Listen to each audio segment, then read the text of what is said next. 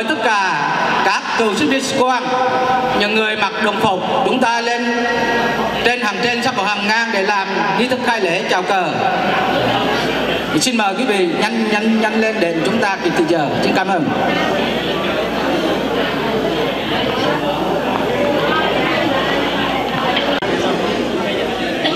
Cảm ơn quý vị.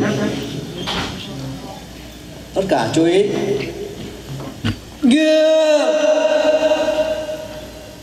Chào tay, chào. Quốc ca Hoa Kỳ. Oh,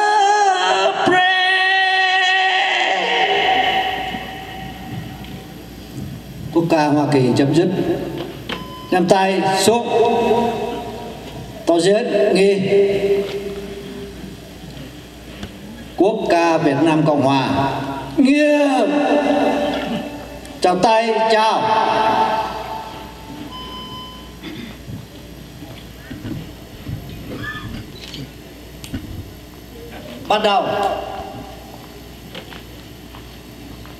Công dân ơi đứng lên đáp lời sông núi.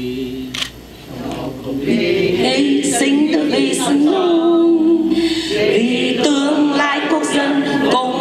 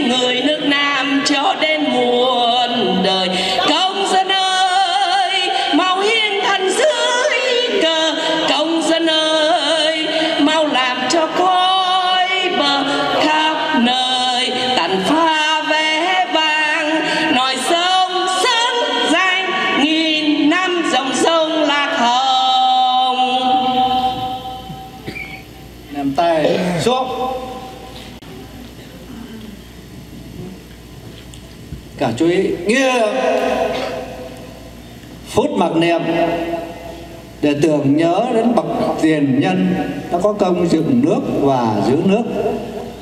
Phút mặc niệm để tưởng nhớ đến quân dân cán chính Việt Nam Cộng Hòa đã hy sinh vì bảo vệ tự do. Phút mặc niệm để tưởng nhớ đến các chiến sĩ đồng minh, đặc biệt là 58.000 quân nhân Hoa Kỳ, đã bỏ mình cho, để bảo vệ cho chính nghĩa tự do phút bằng niệm để tưởng nhớ đến các đồng bào đã bỏ mình trên con đường vượt biên, vượt biển để tìm tự do. Đặc biệt, phút mặc niệm để tưởng nhớ đến các sĩ quan, sinh viên sĩ quan của trường võ bị quốc gia Việt Nam đã bỏ mình vì chính nghĩa tự do. Phút mặc niệm bắt đầu.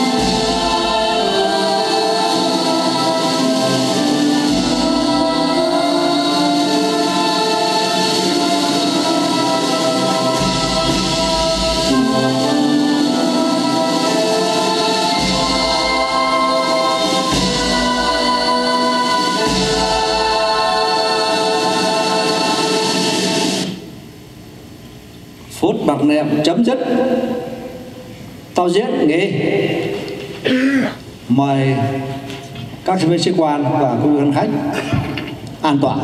Phẩm võ bị hành khúc bản nhạc truyền thống của cụ sinh viên sĩ quan kể từ khóa 14 tức là 1957 cho tới 1960 thưa quý vị. Tác phẩm này do tân khóa sinh Lê Như Hùng, khóa 14 soạn nhạc và lời trong thời gian 8 tuần sơ khởi vào tháng 8 năm 1957 bản nhạc này được chính vị chỉ huy trưởng thời đó chấp nhận làm bài ca chính thức của sĩ viên sinh quan trường võ viện quốc gia. Xin kính mời quý vị à, cùng thưởng thức và đặc biệt nếu quý vị nào thuộc trường võ viện quốc gia Việt Nam xin quý vị cùng hát. À, và chúng tôi xin à, ban nhạc chuẩn bị để chúng ta bắt đầu võ viện hành khúc và xin mời à, quý vị cùng hát theo thưa quý vị. Chúng tôi xin mời à, niên trưởng Vịnh. Chúng tôi xin mời à, niên trưởng Vịnh lên sân khấu để uh, bắt nhạc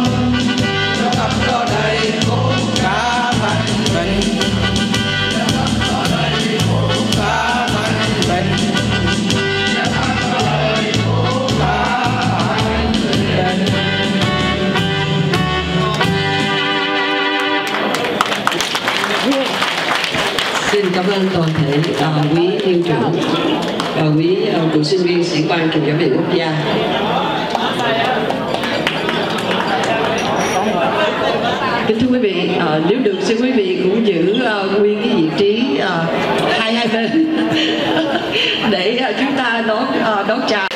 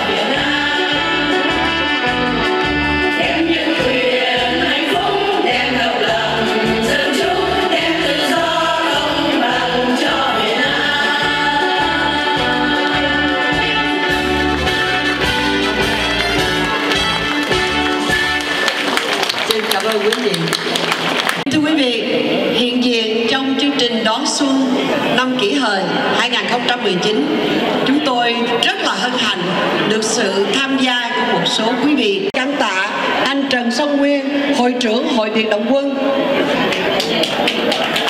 Kế đến là Niên trưởng Nguyễn Thanh Lương, Hội Thủy quân Lục Chiến. Chúng tôi xin được giới thiệu ông Nguyễn Đức, Hội Thiếu sinh quân, quý chị Mang Đào Marie Đào thuộc Hội Nữ Quân Nhân. Quý chị Thu Nguyệt trong Hội Nữ Quân Nhân San Jose Hội Cảnh sát Quốc gia chúng tôi xin giới thiệu ông Trương Hàm Hội Thiết Giáp ông Lê Văn Hữu và anh Nguyễn Ngọc Trân thuộc gia kỹ thuật chúng tôi xin giới thiệu ông Triệu Hà hội trưởng hội địa phương quân và địa phương chúng tôi xin giới thiệu chị Lisa phó hội trưởng nội vụ của hội đồng hương Tây Ninh chúng tôi xin giới thiệu ông Trần Quốc Việt hội trưởng hội đồng hương Quảng Trị chúng tôi xin giới thiệu ông Nguyễn Phúc Hồng hội trưởng liên trường Quảng Trị xin lỗi vì khi đọc ờ, uh, chữ viết công ra thưa quý vị.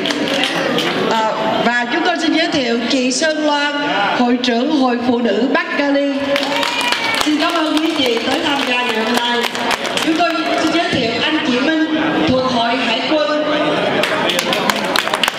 chúng tôi xin giới thiệu à, anh, anh Hải và chị Hân thuộc à, gia đình Đại học Viện Đại học Kinh Thương Minh Đức xin cảm ơn toàn thể quý vị và chúng tôi sẽ cố gắng update à, cập nhật cái cái list của à, quý quan khách nếu có thiếu sót ai xin quý vị thứ lỗi và chúng tôi sẽ tiếp tục à, giới thiệu cùng quý vị cảm ơn quý vị rất nhiều và kính thưa quý vị không lui tới thì trở thành người dân vì thế mà trong cái tinh thần hàng năm, trường và biển quốc gia chúng tôi có một buổi tổ chức họp mặt tân niên hoặc là tức niên để chúng tôi có cái dịp để gặp nhau, để hàng huyên tâm sự.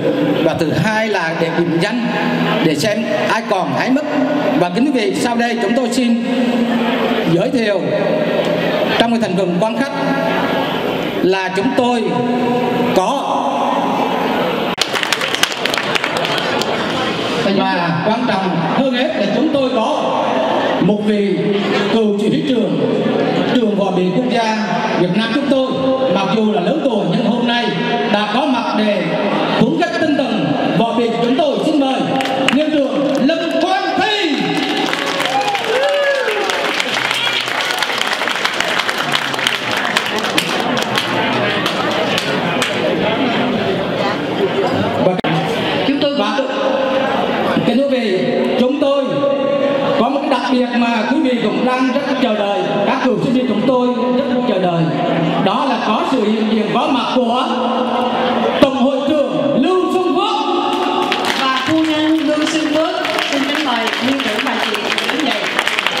Phước đến từ Texas thưa quý vị. Liên trưởng và tổng hội trưởng chúng tôi xin nói quan chúc là liên trưởng ở là đà lạt đó. Mà qua đây đó là một điều rất là vinh dự cho chúng tôi. Xin cảm ơn à, liên trưởng tổng hội trưởng lưu xuân phước. Kính thưa quý vị, trong danh sách thì chúng tôi có tên của từng khóa. Và chúng tôi biết rằng ờ, những đại niên trưởng trong khóa 1 có lẽ ờ, không còn được bao nhiêu vị hoặc là không còn ai nhưng chúng tôi cũng xin được xưng danh. Kính thưa quý vị, khóa 1 mang tên Phan Bội Châu. Chúng tôi không biết có đại niên trưởng nào tham gia cùng chúng ta ngày hôm nay thưa quý vị. đã có hai thì mang tên là Quang Trung ở đây có đại lý trưởng của huyện Vân Châu và không biết hôm nay à, liên trưởng Châu có coi không Kính thưa quý vị, khóa 3 Trần Hương Đạo thì chúng tôi vừa được hân hạnh giới thiệu cùng quý vị Trung tướng Lâm Quang Thi là một vị đại lý trưởng trong khóa 3 của trường Võ viện Quốc gia Việt Nam, thưa quý vị. xin quý vị trong tràng pháo tay lên lên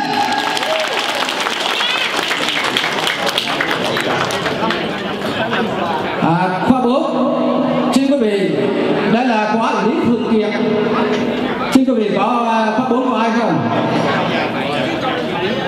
tiếp đến là khóa 5 là Đinh Bộ Lĩnh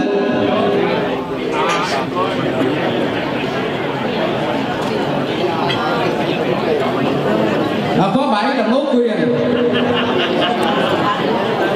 khóa 8 là Hoàng Thu Đông à, à quên xin lỗi à khóa 7 là có à, Ninh Trường Dương Ngọc Cánh à xin cảm ơn Ninh Trường Dương Ngọc Cánh Hai tên lớn thưa quý vị.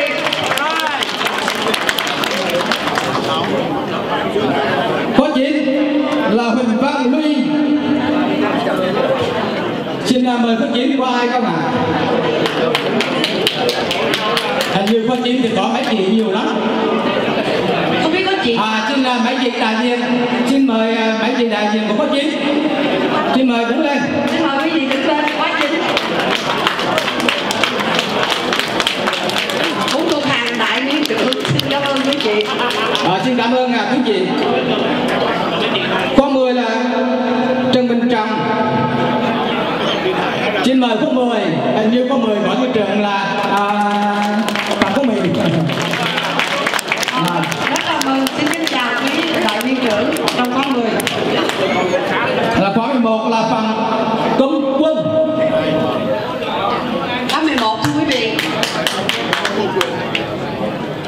12 là khóa Cộng Hòa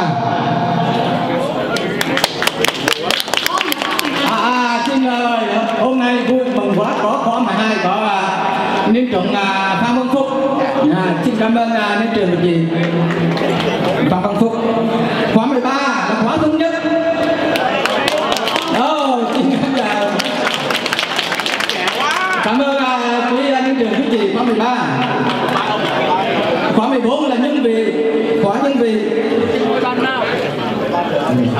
Khóa 15 là khóa lê lợi. Thưa có vị nào từ khóa lê lợi không ạ? Anh. khóa 16 là khóa ấp chiến lược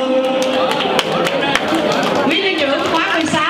khóa 16 là có là của nhân trưởng Bùi Quyền đó ôi xin mời xin cảm ơn là quý nhân trưởng khóa 16 khóa 17 Lê Đai Khóa 17 có một vị niên trưởng. à, xin cảm ơn quý trưởng khóa 18 là tôi Lương Ngạn à, xin cảm ơn. Khóa 19 là khóa nguyện Trái. À, khóa 19 là có nhận thấy có những trận đấu như Trọng Vinh và xin cảm ơn quý niên trưởng khóa 20 khóa 21 là chiến thắng nông thôn.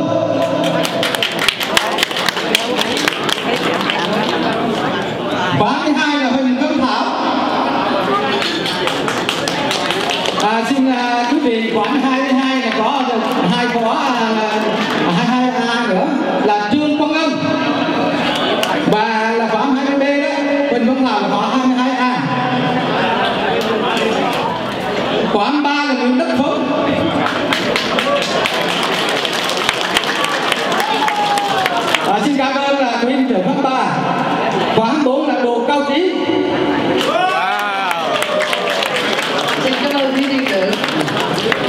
85 là quả của giết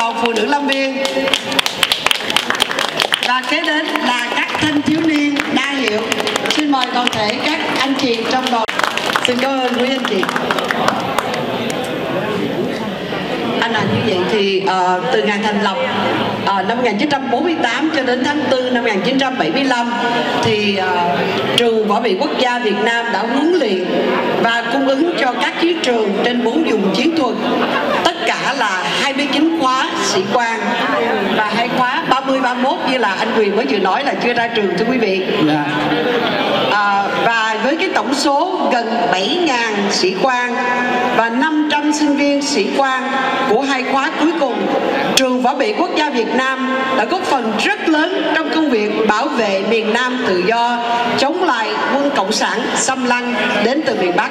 Kính thưa quý vị, một lần nữa xin quý vị cho tất cả tất cả các vị cựu sinh viên sĩ quan trường Võ bị Quốc gia Việt Nam một tràng pháo tay thật là lớn. Và chúng tôi cũng nhân dịp này xin quý vị cho một phút im lặng để tri ân tất đại liên trưởng của chúng ta đã qua đời và đã vĩnh viễn ra đi. Xin cảm ơn quý vị. Xin quý vị một phút im lặng để tưởng nhớ tới các vị đại liên trưởng từ các khóa vắng mặt ngày hôm nay. phút im lặng bắt đầu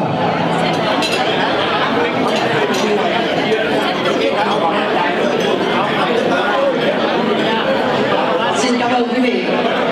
Và sau đây để mở đầu chương trình ngày hôm nay chúng tôi xin hân hạnh giới thiệu cùng quý vị ông Tân hội trưởng và bây giờ là hội trưởng hội trưởng Nguyễn Văn Đường khóa 30 21 31 À, xin mời à, đây là sinh sĩ quan Nguyễn Văn Được khóa 31 hiện đang là hội trưởng hội võ bị Bắc Cali xin lên có vài lời và nói lời khai mạc.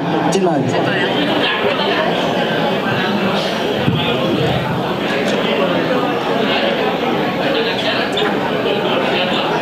Kính thưa quý vị lãnh đạo các hội đoàn, quý vị thân hữu, quý vị cựu giáo sư, văn hóa vụ trường bảo vệ quốc gia Việt Nam, quý niên trưởng, quý bạn khóa 31, quý chị phụ nữ Lâm Quyên, quý anh chị thanh thiếu niên đa hiệu, trong không khí vui mừng đón xuân kỷ hợi, tôi cựu sinh viên sĩ quan Nguyễn Văn Được khóa 31 thay mặt ban chấp hành hội võ bị Bắc Cali kính chúc tất cả quý vị năm mới dồi dào sức khỏe, an khang thịnh vượng. Con cháu xung vầy, một năm an khang sung túc. Kính thưa quý vị, năm mới đến, thường là mình tổng kết những cái công tác đã đi qua. Các công tác trong năm Năm 2018 của hội cựu sinh viên sĩ quan trường bảo vệ quốc gia Bắc Cali đã thực hiện được. Một, phối hợp với tổng hội thực hiện phát hành sách trường võ bị quốc gia Việt Nam theo dòng lịch sử vào ngày 14 tháng 1 2018 tại San Jose. Dưới sự chủ tọa của Trung tướng Lâm Quang Thi, cựu chỉ huy trưởng trường võ bị quốc gia Việt Nam thành công vượt bậc. Thứ hai, ban chấp hành hội cựu sinh viên sĩ quan trường võ bị quốc gia Bali Cali cùng với ban tổ chức đại hội kỳ thứ 21 của Tổng hội đã được tổ chức vào 3 ngày 11, 12 và 13 tháng 5 2018 tại San Jose, California. Với đầy đủ nghi lễ truy điệu truyền thống đã được lưu truyền và gìn giữ suốt 40 năm từ năm 1948 đến 2018 cũng như lễ chào cờ khai mạc đại hội rất trọng thể đặc biệt sự hiện diện của hai vị cựu chỉ huy trưởng trường võ bị quốc gia Việt Nam là Trung tướng Lâm Quang Thi và Đại tá Đỗ Ngọc Nhận cũng có mặt. Đại hội kỳ thứ 21 của Bắc Cali quy tụ được 27 khóa và 10 hội cựu sinh viên sĩ quan trường võ bị quốc gia Việt Nam tham dự tại trong số cựu sinh viên sĩ quan ghi danh tham dự có 242 người Đại hội bầu cựu sinh viên sĩ quan Lưu Xuân Phước có 24 làm tổng hội trưởng nhiệm kỳ 2018 đến 2020. Công tác 3 Hội tham gia Ngày Quân lực Việt Nam Cộng Hòa với Toán quốc quân kỳ đại lễ mùa hè. Nhờ đó, Ngày Quân lực 2018 thật trang nghiêm và thành công nhất ở Bắc Cali. 4. Tổ chức Business hè 2018 với sự tham dự đông đảo của ba thế hệ. Chúng tôi cũng có buổi meeting ngắn để chống lại Ford Musa gây ô nhiễm môi trường và chống nhà cầm quyền cộng sản hèn với giặc ác với dân dân biển bán đất cho tàu cộng số 5 thăm viếng quý vị, quả phụ, quý chị, quả phụ quý cựu sinh viên, sĩ quan đang điều trị hay bị bệnh chia buồn viếng tang làm nghi thức phụ cờ cho cựu sinh viên, sĩ quan vĩnh viễn ra đi về cõi vĩnh hằng Số 6. Kêu gọi đóng góp gây quỹ mùa xuân kỷ hợi, qua lời kêu gọi của ban xã hội tổng hội. Số tiền đã đạt được con số là 14.200 đồng. 7. Sát cánh cùng với hội đoàn đoàn thể tại địa phương nhằm chống lại bọn cộng sản bán nước hại dân cho lũ cầu cộng. Một lần nữa, Xuân kỷ hợi kính chúc quý vị và bụ quyến dồi dào sức khỏe, làm ăn phát tài, phúc lộc đầy nhà, vạn sự cát tường, an khang thịnh vượng. Trân trọng kính chào quý vị.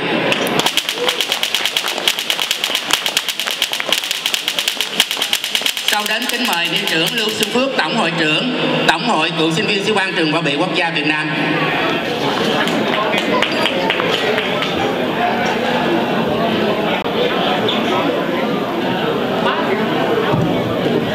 Bảo vệ quốc gia Việt Nam. Kính thưa quý vị quan khách Các hội đoàn. Kính thưa quý vị cựu giáo sư Phan Quá Hộ Quý điền trưởng, điền đệ Quý phu nhân Quý chị trong đoàn phụ nữ Lâm Viên Và các cháu thanh thiếu niên đa hiệu. Thay mặt cho ban chấp hành tổng hội nhiệm kỳ 2018 2020 Tôi xin trân trọng kính chào tất cả quý vị.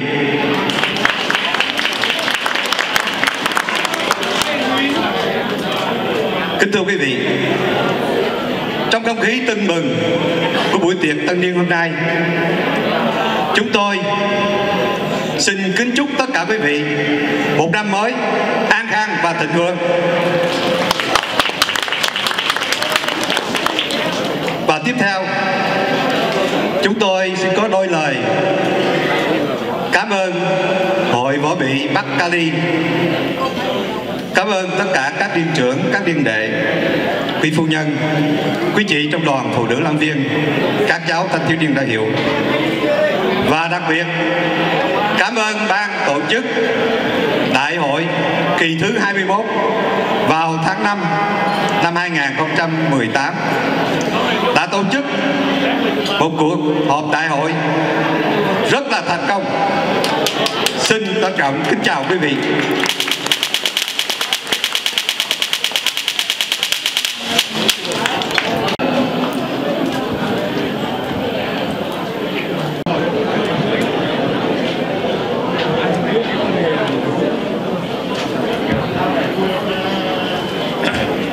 kính thưa quý vị và khách các anh em võ vị thân mến tôi rất là làm vui sướng đến đây gặp đông đủ, các anh em võ vị và gia đình và các vị quan khách.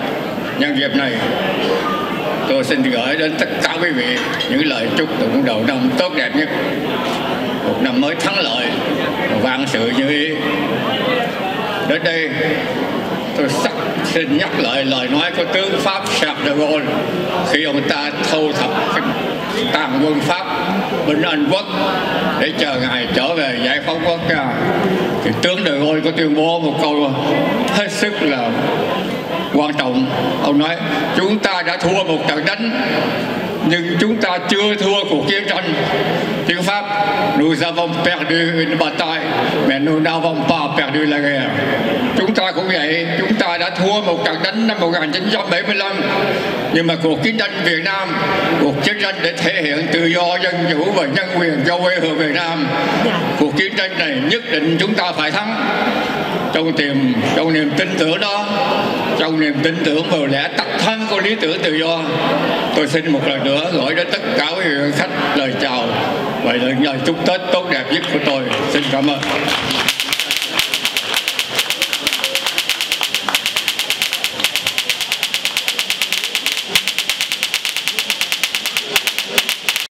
Trung tướng Lâm Quang Thi trên hàng 90 thưa quý vị mà vẫn còn rất là sáng suốt và khỏe mạnh như vậy là tới uh, vui xuân của chúng ta hôm nay. Đó là một điều thật là quý.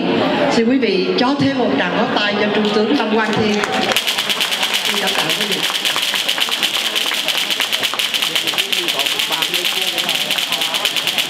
à, do những nhạc sĩ lừng danh và phần lớn đã ra đi, nhưng đã để lại cho chúng ta một kho tàng văn hóa, văn nghệ rất là to lớn.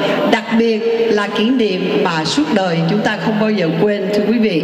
Thì hôm nay, trong cái chương trình à, văn nghệ này, thì quý vị sẽ có dịp nghe lại những cái tác phẩm mà chúng ta một thời đã rất là yêu thương và một thời có bao nhiêu là kỷ niệm, thưa quý vị.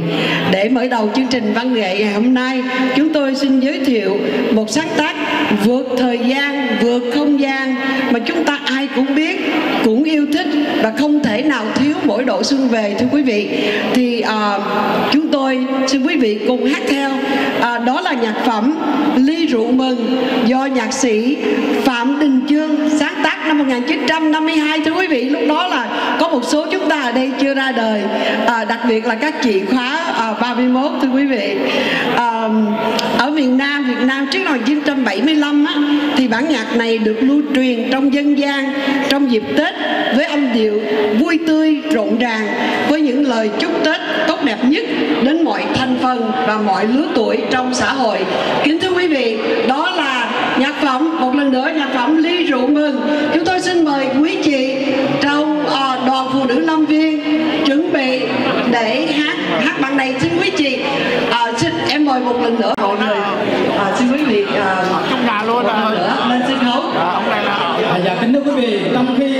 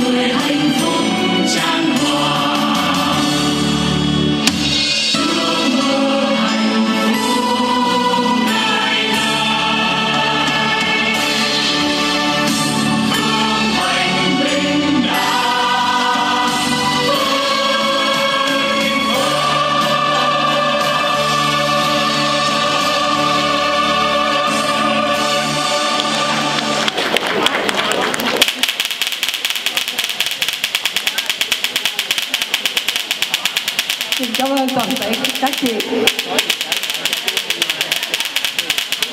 Dòng nhạc thật là vui tươi và xúc động. Chúng tôi xin giới thiệu dòng hát cũng rất là vui tươi và sống động của ca sĩ Bích Châu. Ok. Ca sĩ Bích Châu là thế hệ thứ ba của trong đoàn thanh thiếu niên của trường hội biểu quốc gia Việt Nam. Các chú, các anh, các chị Nhân dịp đầu năm mới Bích Châu xin kính chúc tất cả quý vị luôn được sức khỏe dồi dào và vạn sự như ý. Hôm nay tiếng của Bích Châu cũng hơi khàn khàn chút, Nếu có chuyện gì xin quý vị bỏ lỗi cho.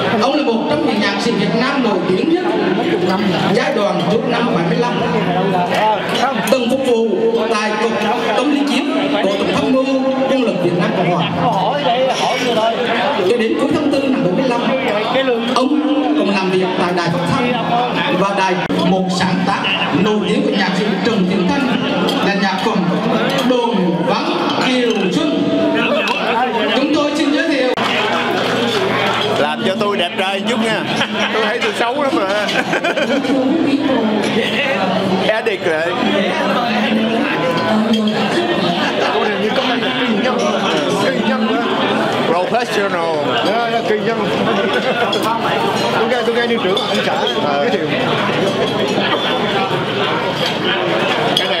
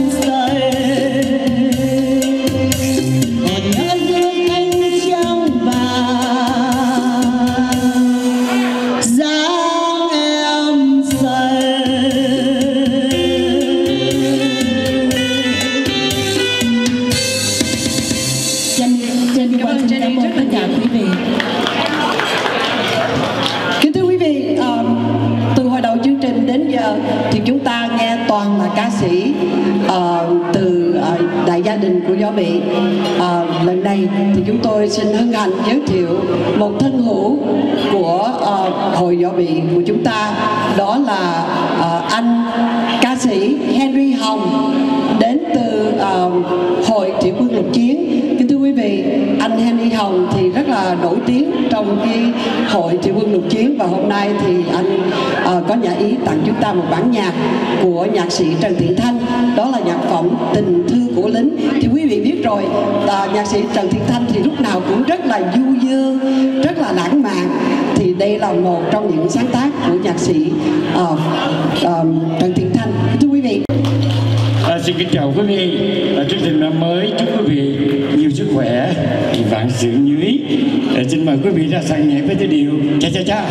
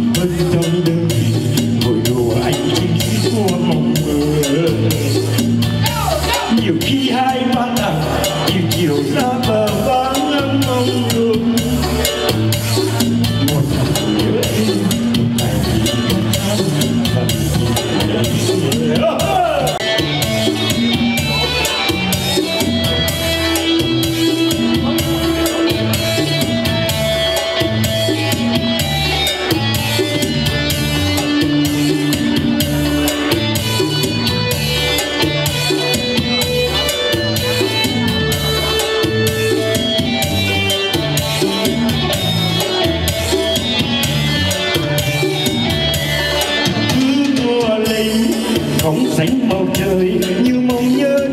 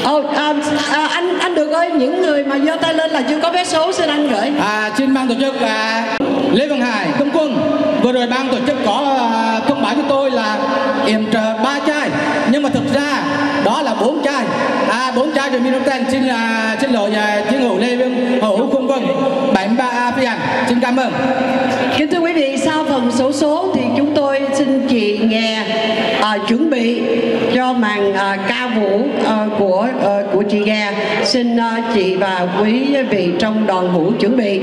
À, và xin các chị trong đoàn phụ nữ làm viên mang vé số tới những vị chưa có vé số. À, xin quý vị à, vui lòng à, giơ tay để cho các chị biết. À, thưa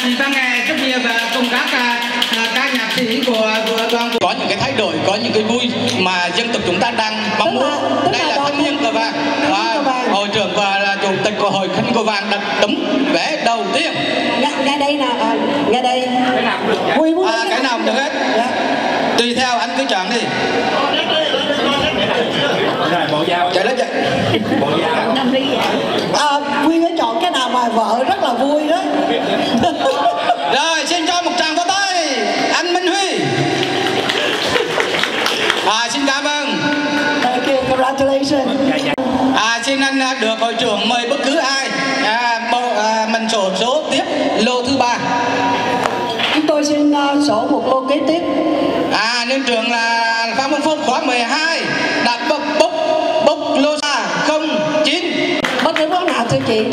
À, sách hay là uh, rượu hay là headphone? Dạ.